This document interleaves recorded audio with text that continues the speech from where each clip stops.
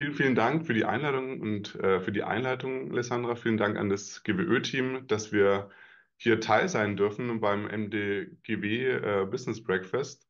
Ähm, große Worte, ich, als ich dir zugehört habe, Alessandra, das klingt schon alles sehr gigantisch groß, so was wir da irgendwie machen oder was wir da irgendwie vorhaben. Ich muss auch gleich ein bisschen, so ein ganz kleines bisschen die Luft rausnehmen. Äh, alle, die sich jetzt äh, erwarten, dass wir irgendwie so Geheimrezepte da verraten können, ähm, Nee, haben wir nicht. Ähm, und ich glaube, die gibt's auch nicht. Und ganz grundsätzlich kann man mal sagen, und da gehe ich auch ein bisschen drauf ein, also ich möchte gerne so ein bisschen Grundlagen dafür schaffen für Storytelling, dass wir Menschen sind einfach geborene Geschichtenerzähler. Also das ist einfach in unserer Natur gelegen und das ist jetzt überhaupt gar nichts, was wir, ähm, also natürlich gibt es da Methoden, um das weiter ähm, im Detail zu erarbeiten und zu entwickeln, aber ganz grundsätzlich ist es eine Eigenschaft, die uns allen Menschen zugrunde liegt. Und deswegen gibt es ja dieses Geheimrezept eben nicht. Aber ich möchte gerne, bevor ich auf das Thema Storytelling eingehe, mich nochmal, weil es ja euch auch heute auch heißt, wie erzählen wir unsere Geschichten, ähm, mich gerne euch nochmal ähm, wirklich im Detail noch mehr vorzustellen. Jetzt hat Alexandra, Alessandra schon einiges vorweg ähm, gegriffen. Also ich bin äh, Philipp, Philipp Exler, gerne per Du. Ich komme ähm, aus einer Arbeiterfamilie in Schwaben, im Schwabenländle, ganz klassischer Mittelstand.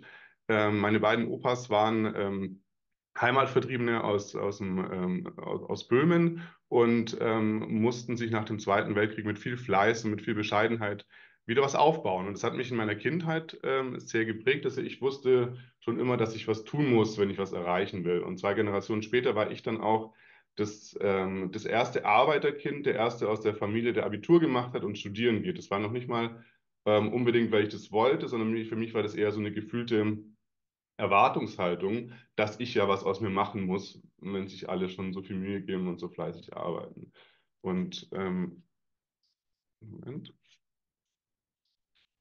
Und die ersten Jahrzehnte hatte ich für mich in meinem Leben jetzt keine eigene Vision. Also ich bin eher so, ja, ähm, hab, bin durchs BWL-Studium gestolpert. Ich bin in meinen ersten Job bei Air Berlin reingerutscht. Ich war schon immer ganz gut in dem, was ich gemacht habe, aber das war nie wirklich so mein eigenes. Und gerade bei Air Berlin hat sich bei mir eine ganz große Unzufriedenheit aufgetan. Also ich habe Marketing dafür gemacht, dass ähm, Leute oder Begehrlichkeiten dafür geweckt, am Wochenende nach Mallorca zu fliegen, damit man das Gefühl hat, dass man ein erfülltes Leben hat. Und das hat äh, in der Zeit dann habe ich mich auch viel mit ökologischen Themen beschäftigt und ich habe irgendwie gemerkt, okay, ich will nicht mehr meine Lebenszeit in einen, in einen Job investieren, der ökologisch ja eher problematisch ist. Und ich war ganz schön in der Krise und eine große Inspiration in dieser Zeit war für mich der Professor Mohamed Yunus und seine Idee vom Social Entrepreneurship. Ich fand es einfach genial, wie man sich überlegt, wie kann man denn wirtschaften mit Sinn und Wohl ähm, äh, von Mensch und Planet einfach verbinden und wirtschaften zum Wohl äh, von Mensch und Planet machen. Und das hat mich sehr, sehr stark beeinflusst und hat mich auch sehr neugierig gemacht. Also ich bin selber aktiv geworden habe Forstory als Social Startup mitgegründet. Wir waren dann in äh, München in der Gründungsförderung der Social Entrepreneurship Akademie. Und ich war einfach neugierig darauf, ob wir das schaffen, ähm, mit meinen Mitgründern, mit dem Alex Konrad und ähm, David Hahn, ob wir das schaffen, ein Unternehmen aufzubauen, das wirtschaftliche, soziale und ökologische Ziele vereinbart. Und das ist auch, wie Alessandra schon meinte, schon immer noch mein persönlicher Antrieb. Also mich interessiert es auch, wie man ähm, Menschen ins Handeln bringt, aber auch, wie man vermeintliche Gegensätze ähm, vereinbaren kann. Also so im ganz Großen wie auch äh, ganz persönlich in meinem Leben, also so Wirtschaftlichkeit, Wachstum und Wohlstand mit Nachhaltigkeit und Gerechtigkeit zusammenbringen und aber auch im Kleinen, ähm, ja, jetzt haben wir gestern Erfolge eingefahren, trotzdem, wenn man sich an die allgemeine Lage anschaut, kann man schon Zukunftssorgen irgendwie haben und sich auch ähm, fragen, okay, wohin führt das? Und gleichzeitig möchte ich aber ja auch unbeschwerte Zeit mit meinen zwei Kindern haben ähm, die nicht immer überschattet ist von einer dunklen Zukunft. Ähm, die Art und Weise, wie ich mich euch jetzt gerade vorgestellt habe, und deswegen habe ich es auch jetzt nochmal in dieser Ausführlichkeit zelebriert, ähm, war direkt äh, oder ist eine Storytelling-Methode. Das ist die 19 Second, 90 Seconds Backstory, also sollten, waren vermutlich ein bisschen mehr als 90 Sekunden, aber sollte eigentlich in 90 Sekunden funktionieren, ähm, die auch super, super gut im Unternehmenskontext eingesetzt werden kann. Und diese Methode die geht zurück auf den Unternehmensberater und ähm, Kulturanthropologen äh, Michael Margulis, ähm, der auch Unternehmen ähm, wie, wie Google äh, und Facebook berät und die dort im Einsatz ähm, ähm, für Storytelling einfach genutzt werden. Und das Ziel von dieser 19, 90 Seconds Backstory ist es, in kurzer Zeit Vertrauen bei einem Gegenüber aufzubauen. Also die Geschichte, die wir über uns beziehungsweise die Unternehmen über sich erzählt, die ist entscheidend über das Vertrauen des Kunden, Kundinnen, Mitarbeitende und die Öffentlichkeit zu uns hat. Und daher ähm, ja, schaut man einfach, dass man in dieser ähm, Backstory in Kürze ähm, vier Leitfragen folgt und mit vier Leitfragen im Endeffekt auch ähm, zu einer persönlichen Erzählung kommt und ja auch schon direkt zu einer Biografie. Und die Backstories, die helfen dem Gegenüber einfach hoffentlich zu verstehen, wo jemand oder wo ein Unternehmen herkommt und wie diese Person, wie dieses Unternehmen auch in die Zukunft schaut. Also was sie beschäftigt, was sie umtreibt. Und ihr könnt es auch für euch einfach mitnehmen und ausprobieren, weil die 90 äh, Seconds Backstory hangelt sich ganz banal an vier Fragen entlang. Wir starten mit der ersten Frage, woher kommst du? Das kann man hier links und rechts nach Menschen und Unternehmen aufgesplittet. Ähm, bei einer persönlichen Geschichte der persönliche Background sein, bei Unternehmen ist es dann meistens die Gründungsgeschichte, Geschichte über Werte, wie hat sich ein Unternehmen über die Jahre entwickelt. Die zweite Frage, wer hat dich beeinflusst? Weil äh, auf der persönlichen Ebene gibt es ja dieses ähm, afrikanische Sprichwort, auf welchen Schultern stehst du, also welche Mentorinnen haben äh, einen beeinflusst, aber auch wogegen hat man rebelliert. Und im Unternehmen ähm, können das dann auch Mentorinnen sein, UnterstützerInnen, PartnerInnen. Wer hat zum Erfolg beigetragen? Es ist super wichtig, von diesen Personen auch zu erzählen. Die dritte Frage, worauf bist du im Leben neugierig? Bei ähm, der persönlichen Vorstellung können das Projekte, Themen, aber auch Menschen sein, worauf man einfach neugierig ist. Und in der Unternehmensebene sind diese großen Fragen, wohin möchte sich das Unternehmen denn entwickeln? Also welche Produkte, welche Projekte stechen besonders hervor, was möchte das Unternehmen erreichen und wen möchte es auch erreichen, wen möchte es anziehen, wer ist die, wer ist die Zielgruppe, worauf ist man neugierig, wen möchte man kennenlernen. Die vierte und letzte Frage ähm, ist dann die Frage danach, welches Rätsel man versucht zu lösen. Also was ist der ganz persönliche Antrieb, die Grenzen, die man sprengen will. Und das wird dann ja eben schon sehr persönlich und für Unternehmen auch eine riesengroße Frage natürlich nach der, nach der Zukunftsvision, also nach immer wiederkehrenden Herausforderungen, denen sich das Unternehmen stellt und ähm, die ja auch damit sehr, sehr stark auf die Identität des Unternehmens einwirken. Ähm, die 19, 90 Seconds Backstory ist eine ja, sehr, sehr simple und gleichzeitig aber sehr powervolle Methode, die dabei helfen kann, ähm, die eigene Geschichte oder auch die Geschichte von Unternehmen zu erzählen. Das probiert das gerne mal aus. Wir haben auch sehr gute Erfahrungen damit gemacht, wenn es auch in einer sehr frühen Phase von Unternehmenskommunikation darum geht, erstmal zu verstehen, okay, ähm, wer sind wir eigentlich? Ähm, dann diese, diese vier Fragen von, von mehreren Mitarbeitenden mal beantworten zu lassen, mit Blick auf das Unternehmen natürlich, und dann mal abzugleichen und rauszuschauen, was für Geschichten denn über das Unternehmen eigentlich überhaupt so in den Köpfen der Mitarbeitenden ähm, unterwegs sind, um einfach mal rauszufinden, okay, ähm, wer sind wir denn eigentlich? Weil auch da muss man sagen, gerade wenn es dann in die Identitätsarbeit geht, ähm, ist Storytelling, sind narrative Methoden super wertvoll, um sich einer Identität auch zu nähern. Und ähm, da wieder diese große Frage, warum Storytelling? Warum solltet ihr in euren Unternehmen Geschichten erzählen? Und ähm, vor allem dann ja, wenn wir hier, wenn es hier im GWÖ-Kontext um nichts Kleineres geht, als darum, ein komplett neues Wirtschaftsmodell einzuführen. Und da habe ich hier mal dieses Zitat mitgebracht von, von Sartre, der gesagt hat, wir, wir verstehen alles im menschlichen Leben durch Geschichten. Und da kann man auch weitergehen und da würde ich einen kleinen Exkurs noch machen, dass man sagen kann, wir leben ganz einfach in einer Welt der Geschichten. Und wenn wir uns jetzt anschauen, warum das so ist oder was es uns für Vorteile bringt, ähm, kann man sagen, wenn wir uns in Gruppen bewegen, die kleiner sind als 200 Personen, dann ist alles super easy. Dann behalten wir, ähm, wir Menschen einigermaßen Überblick. Wir können zu jedem Individuum in dieser Gruppe irgendwie eine Art von Beziehung aufbauen und wir können die Personen hierarchisch einordnen und können ein äh, Zusammenleben miteinander gestalten. Sobald die Gruppen aber größer werden als 200 Personen, ähm, wird, es, wird es super, super schwierig. Und hier kommen dann eben Geschichten ins Spiel. Und ich denke, die meisten von euch kennen sehr, sehr wahrscheinlich ähm, den israelischen Historiker Yuval Noah Harari. Wer den nicht kennt, ähm, ganz, ganz große Empfehlung. Ähm, und der beschreibt die Erfolgsgeschichte der Menschheit über ihre Gabe, eine Sprache und einen gemeinsamen Bedeutungsraum für fiktive Dinge gefunden zu haben. Also wir haben eine Sprache, aber können mit dieser Sprache eben nicht nur über Dinge sprechen, die sind, sondern auch über fiktive Dinge sprechen. Und ähm, diese fiktiven Konzepte, die schaffen bei uns Gemeinschaft, geben Identität und wirken für uns Menschen Sinnstiften.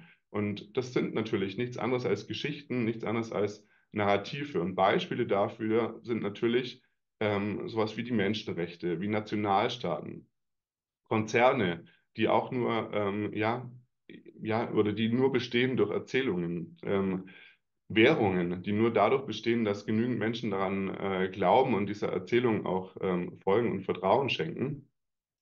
Und auch so große Narrative oder Erzählungen wie der amerikanische Traum, also diese Geschichte vom vom Tellerwäscher zum Millionär, also diese, diese groß ist dieses große Narrativ, dass wir das alle irgendwie schaffen können, dass wir alle mit den gleichen Möglichkeiten ausgestattet sind. Wenn wir uns nur genügend anstrengen, dann schaffen wir das eben auch vom Tellerwäscher zum Millionär zu werden.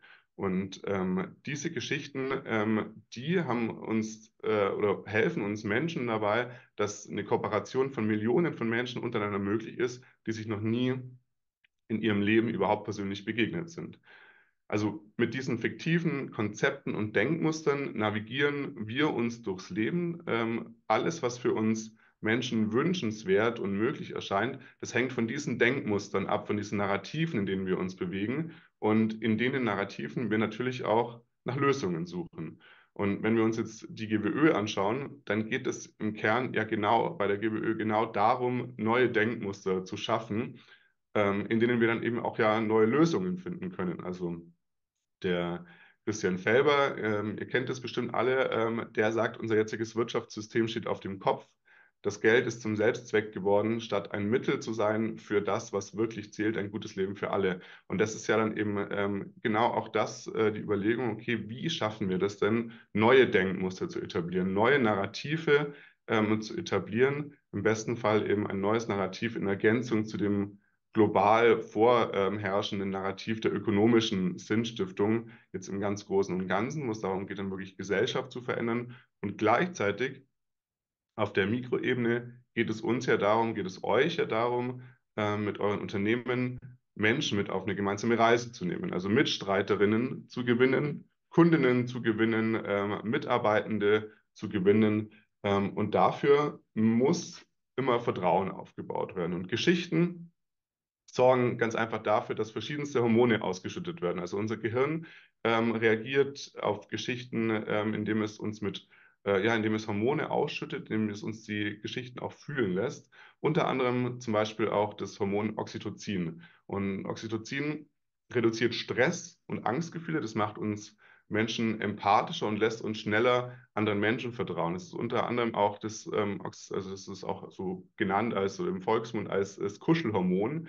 Ähm, ohne Oxytocin wäre zum Beispiel eine menschliche Geburt überhaupt gar nicht möglich, weil es einfach ähm, dann ja auch in den ersten Schritten auch für die Bindung ähm, zwischen Mutter und Neugeborenen ähm, führt. Also ein super, super starkes ähm, Hormon. Und dazu wurde an der ETH in Zürich ein super spannendes Experiment durchgeführt. Also die Wissenschaftlerinnen dort, das waren Ökonominnen und klinische Psychologen, die wollten herausfinden, ob Oxytocin das Verhalten von Investoren verändert. Also ob das Hormon nachweislich einen Einfluss auf die Risikoeinschätzung und ein wirtschaftliches Verhalten hat. Und dazu haben sie ähm, eine Testgruppe Oxytocin mit einem Nasenspray ähm, verabreicht und gleichzeitig natürlich eine ähm, Vergleichsprobandengruppe ähm, nur eine Pla äh, Placebo-Substanz über das Nasenspray verabreicht. Und die Probanden, die das Oxytocin ähm, ähm, beziehungsweise alle Probanden bekamen dann eine definierte Summe Geld zur Verfügung gestellt, ähm, dass sie dann einem Treuhänder anvertrauen konnten, um einfach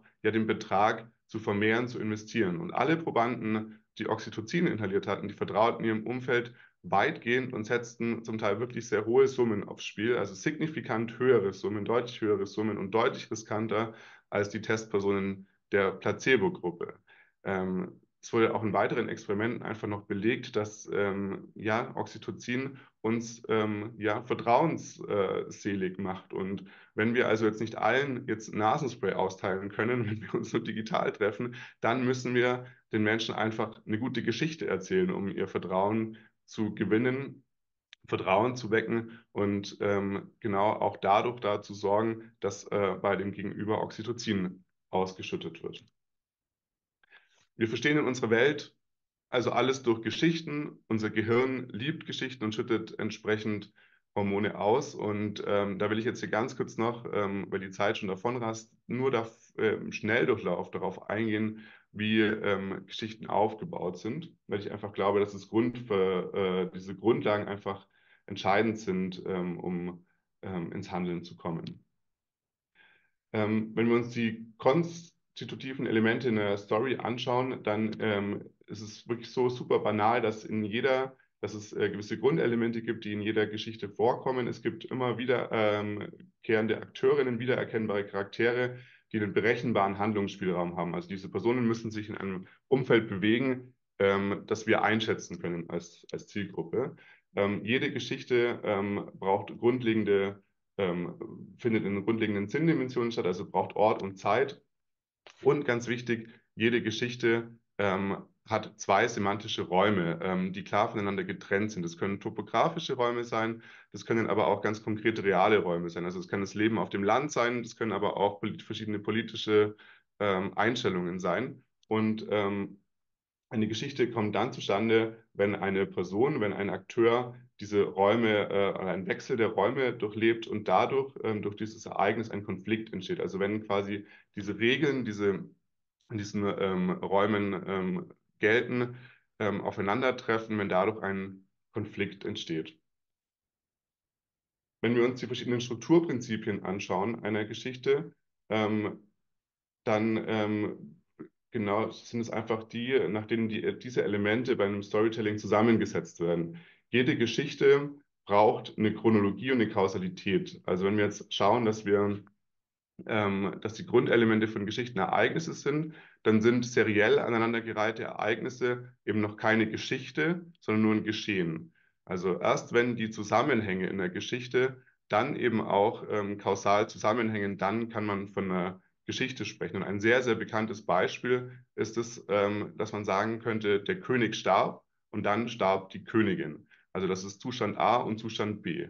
Das ist noch keine Geschichte. Wenn wir aber sagen, der König starb und dann starb die Königin vor Schmerz. Dann haben wir so eine Mitte, dann haben wir eine Transformation. Wir bringen Zustand A und Zustand B zusammen und ähm, erhalten dadurch eine kausale Kette und dadurch auch eine Geschichte. Wenn ihr eine Sache mitnehmt ähm, für Storytelling, dann wirklich die, dass das super, super basic ist. Ne? Wir brauchen in jeder Geschichte diesen Ausgangszustand, wir brauchen einen Konflikt, eine gewisse Transformation und einen Endzustand. Also Einführung, Komplikation, Auflösung.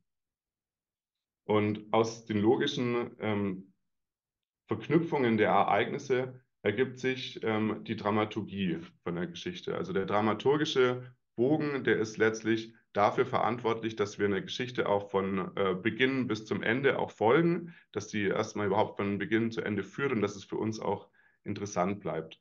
Und dafür möchte ich euch ganz kurz ähm, einen Film zeigen. Jetzt muss ich mal ganz kurz checken, ich hoffe, der Ton ist freigegeben. Einen äh, Film zeigen, anhand dem ähm, ich euch dann im Nachgang ganz kurz einmal die Heldenreise vorstellen möchte. Okay.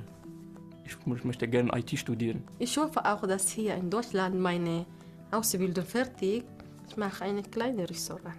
Ich habe versucht, meine Arbeit zu finden. Das war schwierig, aber Social hat gefunden. Und jetzt ich kann meine Familie unterstützen. Jetzt ist es wirklich so glücklich. Viele Arbeitgeber, die haben nur meinen Ausweis geschaut. Ja, ja, wir rufen dich an und fertig. Die rufen nicht mehr. Also bis ich äh, auf Social Media gekommen bin. Und ist danach sehr toll gelaufen. Je pense que mes collègues apprécient ma façon d'être honnête. My energy. My helpfulness. Courage. My efforts. Et mon comportement aussi. Bei einem Zettel auf dem Tour steht Social wie auf Arabisch äh, Al-Nahla. Wenn du suchst Arbeit, Deutschkurs, sowas, wir können dir helfen, einfach anrufen, WhatsApp. All the workers here are friends to me. That is how I see it. If you come here, they welcome you and they attend to you in a good way. Yeah, working with Social B is really amazing. Through Social B, connections have come into my life. Really? መንገድ ሶሻል ቢ ተስፋና ህይወት መጽ kupita na Social B nimepata kazi na warafiki wangu wengi kabisa. Working with Social B is supportive. Na samu abokanan zaman da muka yi zama alheri. I appreciate my colleagues for their commitment. Pour leur motivation. Weil diese So- Social B für alle helfen wir, egal, egal welche kommt aus Land, egal, das für alle. Die hat immer, schick mir eine Nachricht, hallo Martin, wie geht's, wenn du brauchst etwas, brauchst helfen, dann danke. Als ich meinen ersten Job äh, bekommen habe, ja, ich war echt sehr glücklich und, und habe, habe gesagt, endlich kann ich meiner Familie helfen. Das Social B ist Beste, die hilft, sehr, sehr, sehr geholfen. العمل مع سوشيال بي هو المثابرة Wegen des Social B, ich finde, ist für mich ist fast so wie meine Familie. Ja.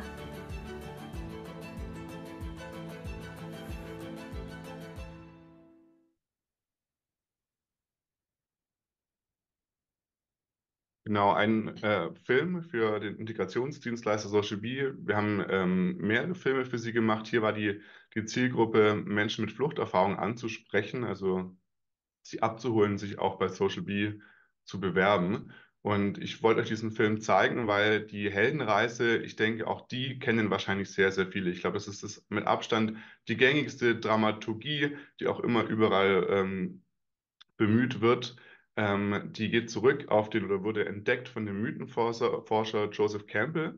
Und das Spannende an der Heldenreise ist, dass er sie ja nicht entwickelt hat, dass es keine Dramaturgie ist, die entwickelt wurde, sondern dass er einfach sehr, sehr viele ähm, Mythen und Geschichten und erfolgreiche Erzählungen ähm, analysiert hat und eben dieses Schemata, diese, äh, diesen Aufbau äh, in allen gefunden hat. Und da man ja sagen kann, okay, das ist einfach ein, eine Grundlage, ein Grundschemata ähm, des ähm, erfolgreichen äh, Geschichten ja, zugrunde liegt. Und ähm, das wollte ich euch gerne an dem Beispiel von Social B vorstellen, einfach um zu zeigen, ähm, dass es sich auch, ähm, ja, dass es auch in so einer einfachen Erzählung, in einfach nur Interviews, eine Heldenreise erzählt werden kann. Ähm, in unserem Fall, also die Heldenreise startet immer in der bekannten, vertrauten Welt. In unserem Fall sind ähm, die Helden, die Heldinnen ähm, hier Menschen mit Fluchterfahrung, die sind auch gleichgesetzt mit der Zielgruppe des Films und die befinden sich in ihrer äh, bekannten Welt, wobei die bekannte Welt in diesem Fall ja einfach eben ähm, dann schon Deutschland ist, allerdings ähm, mit der schwierigen Jobsituation. Also da ähm, werden sie, startet die Geschichte, da sind sie, sie tun sich schwer, einen Job zu finden und sie hören dann den Ruf des Abenteuers. Ähm, also das kann dieser, in diesem Fall der Zettel an der Tür sein, ähm, oder ähm, es sind Jobbeschreibungen und müssen dann aber im ersten Fall nochmal, im ersten Schritt nochmal von dem Mentor, von der Mentorin überzeugt werden, ähm, auch wirklich sich auf die Reise zu begeben in die neue Welt. Und in diesem Fall ist Social B die Mentorin, die ähm, ja zum Beispiel durch diese WhatsApp ähm, dann den einen Protagonisten dazu überzeugt hat, ähm, sich doch ins Abenteuer zu begeben. Sie lassen sich also auf das Abenteuer ein, ähm, sie gehen den Jobintegrationsweg mit Social B. Die ähm, Heldinnen, die finden neue Freunde, neue Unterstützer im Unternehmen, begegnen natürlich auch Feinden nach Herausforderungen und letzten Endes ähm, bekommen sie aber das, verändern sich selbst und bekommen das, was sie einfach, was sie sich gewünscht haben und können damit auch eben zurückkehren in ihre quasi vertraute Welt, die sich allerdings dadurch verändert hat ähm, und sie sich selbst auch verändert haben. Also sie bringen das Neue in die vertraute Welt, die sich damit, damit ändert. Und das, ähm, dieses Grundschemata der Heldenreise, die eben auch diese verschiedensten Akteurinnen ähm, wieder hat, ganz wichtige Rolle eben die Mentorin, ähm, die kann für sehr, sehr viele Geschichten einfach in, in auch ja, einfacher, abgespeckter Variante ähm, eingesetzt werden und dadurch erfolgreiche Geschichten zu erzählen, die einfach ähm, ja die Zuschauer auch bannen und in, in den Bann ziehen und in, ja, die Aufmerksamkeit halten. Ähm, jetzt haben wir die Grundelemente und Strukturprinzipien von der Geschichte uns ganz, ganz kurz angeschaut. Und äh, in Kombination von diesen beiden Bestandteilen kann eine Geschichte eben eine zentrale Botschaft auf eine spannende Weise im besten Fall vermitteln. Also eine Botschaft ist dann äh, ganz einfach nur eine Beschreibung von Erlebnis oder Handlungsmuster, die in einer bestimmten Situation erfolgreich waren. Also hier bei Social B war die, ist die ganz klare Botschaft, ähm, dass es sich lohnt, den Kontakt zu Social B aufzunehmen, weil dieses äh, Handlungsmuster äh, zu dem Erfolg geführt hat, jetzt eben ähm, sein Leben verändert zu haben und auch die Familie unterstützen zu können. Und das ist diese eine Botschaft, die Social Bee hier eben auch an die Zielgruppe ausschicken wollte. Und wenn ihr auch ähm, an, an eurer Geschichte arbeiten wollt, ähm, wir haben dafür ähm, ein Worksheet erarbeitet, das wir euch gerne im Nachhinein, wenn ihr das möchtet, auch zur Verfügung stellen könnt. Äh, da kann super, super einfach, im besten Fall druckt man sich das groß aus, super, super einfach die einzelnen Felder ausgefüllt werden und man kann ähm, einfach mal damit spielen, wie man denn die einzelnen Rollen besetzt. Man kann die auch hin und her kleben und kann damit eine Geschichte immer auf sehr unterschiedliche Art und Weise erzählen und kann ähm, die Geschichten auch dementsprechend einfach immer an die Zielgruppen neu anpassen und ähm, schauen, wenn man eine neue Zielgruppe erreichen möchte, dann müsste man vielleicht auch andere Helden, andere Heldinnen einsetzen ähm, und kann hier ähm, Stück für Stück sich Schritt für Schritt der eigenen Geschichte nähern. Ähm, in dem Schritt drei hier unten ähm, haben wir das nochmal festgehalten, dass es einfach auch ähm, verschiedene Elemente gibt, die Wirkungspotenzial von der Geschichte ähm, deutlich, deutlich steigern. Und da möchte ich ganz kurz hier jetzt nochmal drauf eingehen, auf diese Elemente, ähm, in der Kürze der Zeit, aber auch nur ähm, ja, hier in dieser Übersicht. Also eine Geschichte oder eine, eine gute Geschichte, vor allem wenn es darum geht, eine Transformationsgeschichte zu erzählen, braucht ähm, immer einen Hook. Also kann man sich die Frage stellen, ob unsere Geschichte, unsere Story einen aufmerksamkeitsstarken Hook hat, ähm, und vor allem ist dieser Hook, dieser, dieser Haken von der Zielgruppe aus erdacht. Also man sollte sich immer überlegen oder sich an diesem Sprichwort orientieren, dass der Fisch, äh, der, der Köder dem Fisch schmecken muss und nicht der Anglerin. Also super, super wichtig, sich erstmal anzugucken, äh, wen wollen wir denn erreichen und was ist für diese Person an einer aktuellen Situation, in der sie sich befinden, wo wir sie erreichen, überhaupt interessant. Warum sollten sie unserer Geschichte folgen, uns Aufmerksamkeit geben und damit die anderen ähm, Themen aktuell keine Aufmerksamkeit geben.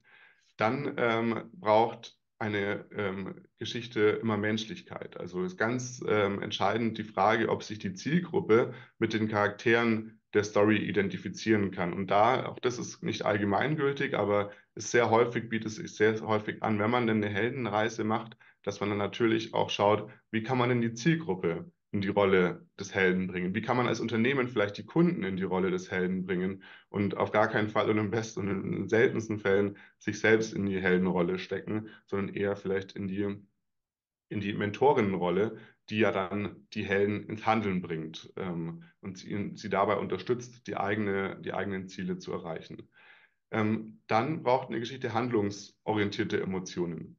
Ähm, bringen wir Menschen mit unserer Geschichte ins Tun und da ist ähm, ganz wichtig, auch dieses handlungsorientierte, diesen Zusatz eben mitzudenken. Also rein Emotionen allein werden nicht dabei helfen, Menschen ins Tun zu bringen. Und das ist gerade, wenn man sich das ähm, Kommunikation vielleicht auch zu Klimathemen anschaut, in, in den letzten Jahrzehnten häufig sehr, sehr schief gegangen. Also wenn wir ähm, nur über Emotionen ähm, versuchen zu punkten, aber Menschen nicht diese Handlungsmöglichkeiten aufzeigen, dann ähm, lassen wir unsere Zielgruppe häufiger auch mit einem gewissen Ohnmachtsgefühl zurück und sie wissen überhaupt gar nicht mehr, was sie jetzt machen sollen. Und wahrscheinlich ist eher sogar genau das Gegenteil als das Gewünschte dann das Ergebnis. Jede Geschichte braucht eine Dramaturgie. Wir müssen uns überlegen, ob wir die Zielgruppe mit auf eine Reise nehmen, ob wir auch wirklich die Aufmerksamkeit ähm, bis zum Ende aufrechterhalten. Also ähm, ein gutes Story Design ist so ähm, gestaltet, dass wir die, die Aufmerksamkeit der Zielgruppe erlangen, sie halten und dann am Ende ähm, die Zielgruppe dafür auch belohnen. Jede Geschichte braucht einen Konflikt. Also wir müssen uns wirklich die Frage stellen, ob wir einen Mut haben, auch zu Radikalität und zu Kontrast und ob wir Konflikte miterzählen. Eine Geschichte ohne Konflikt ist keine Geschichte. Und ähm, wenn wir uns hier nicht trauen, auch wirklich in den Konflikt zu gehen und den auch auszuarbeiten, ähm, dann wird es keine spannende Geschichte geben. Also auch da nochmal, jede Geschichte hat immer eine Ausgangssituation, dann diesen Konflikt und End, äh, End, den Endzustand. Das ist super, super basic. Bevor man sich mit anderen Methoden beschäftigt, finde, sollte man immer sich diese Frage stellen, habe ich einen Ausgangszustand? Was ist mein Konflikt? Welche Veränderung ähm, wird durchlaufen und was ist der Endzustand? Ohne Konflikt keine Geschichte. Ähm, ein ganz, ganz großer Punkt, vor allem wenn es darum geht, Transformationsgeschichten zu erzählen, ähm, ist das berühmte Wort Authentizität, also Ehrlichkeit. Lassen wir ähm, die Politur weg, erzählen wir ehrlich, kommunizieren wir authentisch und vor allem in dem Moment, wo wir authentisch und ehrlich kommunizieren, ähm, dadurch ja eben auch glaubwürdig. Und ähm, da ist auch wieder dieser Punkt mit, wo Konflikte wieder reinkommen, ähm, erzählen wir auch Hürden mit, erzählen wir auch Schwierigkeiten mit, die sich vielleicht bei uns ähm, in den Weg gestellt haben, gehen wir auch offen damit um, um im besten Fall dann vielleicht im nächsten Schritt ja auch in den Dialog zu gehen. Also diese Frage eröffnet eine Geschichte, die wir erzählen, auch Dialoge, eben auch zu kritischen Themen, denen wir uns dann eben auch stellen wollen. Und ganz am Ende ähm, dieser, diese Frage nach dem Lerneffekt. Ähm, jede Geschichte, ähm, da sind wir wieder, braucht eine Ausgangssituation, eine Transformation und einen Endeffekt, äh, einen Endzustand, also diesen, diesen Lerneffekt. Schaffen wir das bei der Zielgruppe, einen Aha-Moment zu gehen? Also kann unsere Zielgruppe was lernen? Weil das ist, was uns Menschen, unser Gehirn ja eben auch antreibt, wofür unser Gehirn uns belohnt. Wir lernen super gerne. Und wenn wir etwas lernen können, wenn wir merken, dass wir was lernen können, dann bleiben wir eben auch dran und dann folgen wir in der Geschichte auch weiter. Ähm, das sind, ist kein, kein Anspruch auf Vollständigkeit, aber eine, eine Liste an Elementen, ähm, die unserer Erfahrung nach ähm, ja in einem guten Story-Design enthalten sein sollten. Und ich bin jetzt hier nur sehr, sehr schnell drüber gegangen. Ich würde euch da, wenn ihr euch dem Thema weiter nähern wollt, zu einladen, an unser digitales Lagerfeuer zu kommen. Wir bieten ein Storytelling-Webinar kostenlos an in Kooperation mit dem Bundesverband Nachhaltige Wirtschaft. Und das sind dann eben eineinhalb Stunden. Ich hatte vorher kurz Panik, weil ich kurz dachte, ich muss um neun schon durch sein. da ist mir vorher irgendwie kurz die Hutschnur äh, geplatzt fast. Also ich hatte vorher kurz Panik, aber da haben wir eineinhalb Stunden Zeit. Ähm, und können auch deutlich mehr auf die Elemente eingehen, haben dafür auch Praxisbeispiele mit dabei und schauen uns das im Detail nochmal an, wie denn diese Elemente auch ähm, denn ja auch mal positiv oder gut umgesetzt werden können, weil man kann einfach sehr gut aus Geschichten des Gelingens, aus anderen Beispielen, aus Best Practices lernen. Ähm, zufälligerweise findet ähm, dieses Storytelling-Webinar auch heute Nachmittag statt. Also der nächste Termin ist heute kurzfristig um 14 bis 15.30 Uhr. Ähm, wenn ihr wollt, könnt ihr gerne dazukommen, müsst euch gar nicht mehr registrieren, sondern könntet auch über forstory.de slash start Webinar kommen. Das nächste Webinar ist am 15.05. und da könnt ihr euch einfach mal über unsere Website anschauen, wenn es für euch in irgendeiner Form interessant ist.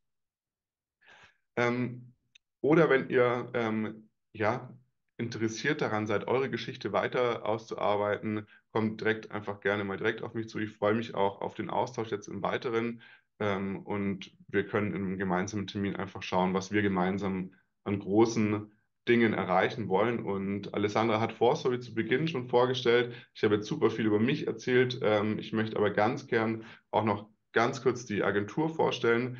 Ähm, wir sind Agentur für Film und Storytelling mit dem Ziel, mit dem großen Ziel, Menschen zu inspirieren. Und wir haben uns hier ähm, vor kurzem, ich das ist jetzt nicht für Präsentation optimiert, aber vor kurzem nochmal intensiv auch mit unserem Purpose beschäftigt. Und wir haben für uns ausgearbeitet, dass wir Menschen zuhören. Die ganze Grundlage für Storytelling ist Story Listening. Und dass wir ähm, ja, Geschichten sichtbar und erlebbar machen. Wir glauben an die transformative Kraft von Geschichten, ganz einfach, weil ähm, unser menschliches Gehirn ja, die Welt in Geschichten wahrnimmt. Wenn wir die Welt verändern wollen, brauchen wir neue Geschichten. Und mit diesen Geschichten gestalten wir eine lebenswerte Zukunft, ähm, die geprägt ist von Nachhaltigkeit, Gerechtigkeit und Gemeinwohl. Wir sind Filmagentur, also unser Schwerpunkt liegt auf der Produktion von Realfilmen, ähm, können aber auch im Endeffekt jede Form von Film mit anbieten, auch Livestream, auch ähm, Lernvideos, also wirklich alles, was irgendwie mit Bewegtbild zu tun hat.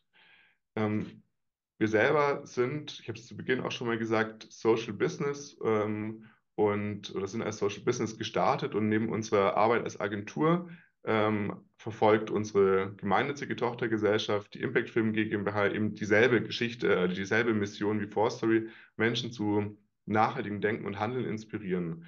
Und ähm, mit der GmbH ähm, haben wir ein Festival ins Leben gerufen, ähm, zu den 17 Nachhaltigkeitszielen. Und ähm, genau, wir sind, das hat auch Alessandra zu Beginn schon genannt, selber Gemeinwohlökonomie bilanzierendes Unternehmen, sind jetzt momentan, haben die erste Bilanz ähm, 20 21 gemacht und sind jetzt dabei, ähm, uns über die Rebilanzierung ähm, Gedanken machen. Ne, 22 haben wir jetzt erstmal bilanziert. Das kann vielleicht der Tobi nochmal genauer sagen, der auch hier mit der Runde drin ist. Wir sind jetzt gerade dabei, uns mit der Rebilanzierung zu beschäftigen. Ähm, ganz zu Beginn hat Alessandra es auch eingeleitet, dass wir einmal darüber sprechen wollen, was das Ganze denn, dieses Thema, über das wir jetzt gesprochen haben, Storytelling, Geschichten erzählen, ähm, überhaupt auch mit der GWÖ-Matrix zu tun hat.